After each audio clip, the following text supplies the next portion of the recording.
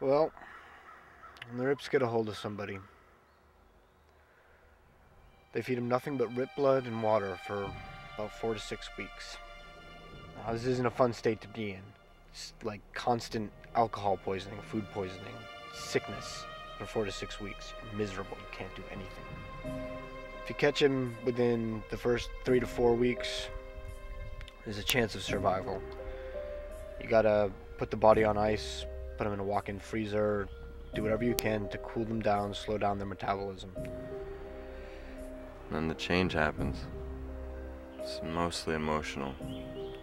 Becomes sour. Aggressive. Blood becomes lighter, thicker. Rips almost never bleed to death. Unless it's a shot to the head. They live off mammalian blood, like the vampire stories. That's where the similarities end. There's no superpower, no super strength, no huge fangs. They're not allergic to garlic or sunlight or silver. But their jaws are strong enough to rip out your jugular, so watch your neck.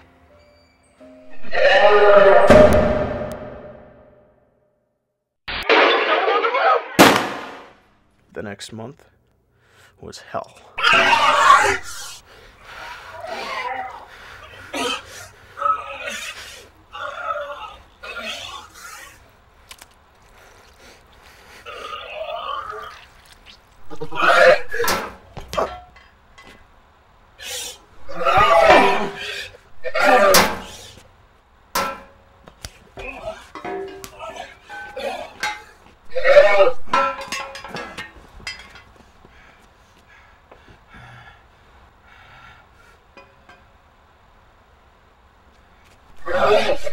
Yeah.